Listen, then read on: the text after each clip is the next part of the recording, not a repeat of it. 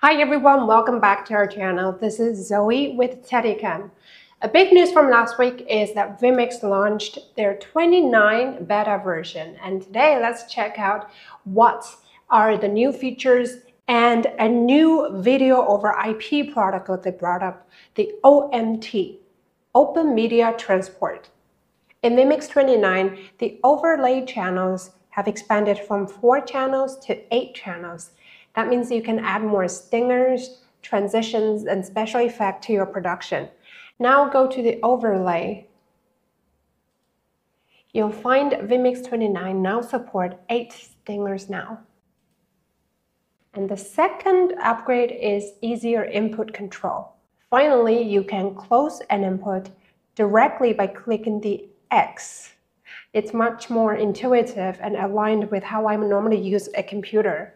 The third one is the Go button customization. The quick play button now changed into a Go button. It can now be set up as a custom hotkey.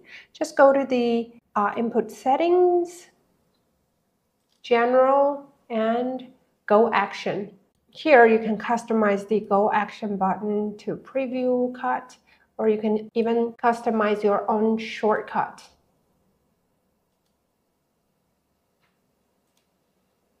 Another major upgrade is the instant replay.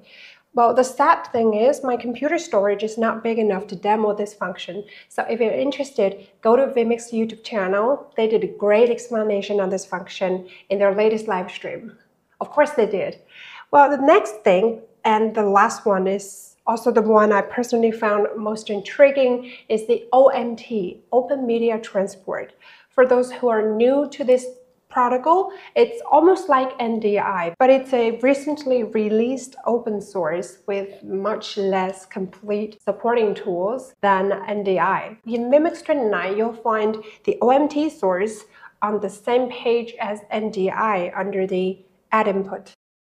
You can filter to view only NDI or only OMT sources. And if you've got a lot of feeds, there's now a list view option, not just thumbnails. Despite vMix, you can also make your computer compatible with OMT. Let's do a signal test first with my limited knowledge. Now first go to openmediatransport.org, download the OMT generator. Run this exe file and choose your video resolution, frame rate, and audio settings.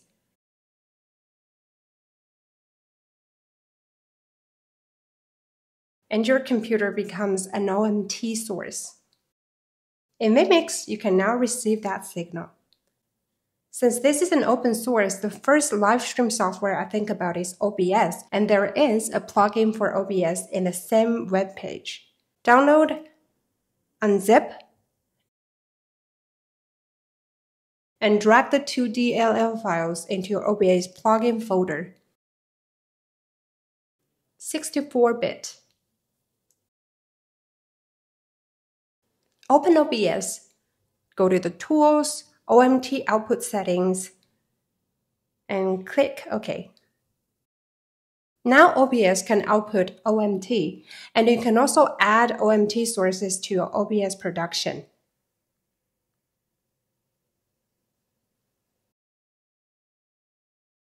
Like my laptop signal activated just now. But also please note, make sure your OBS is up to date. I'm also curious about the latency of this open media transport, so I tested with a millisecond clock feed in OBS OMT and received it in vMix. There I have it. Add this OBS OMT as a source. Now on the left is the original clock website and on the right is the OMT signal received from OBS. And actually, the latency can be even lower because the clock website is captured as an OMT signal and been transmitted twice. And from the device management, we can see two 1080p 60 OMT channels takes around 200 megabits per second.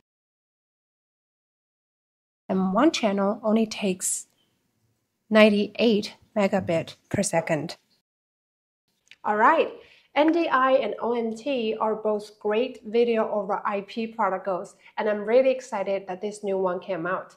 Um, if you're interested, go to their website and check out for more information. That's all for today's video.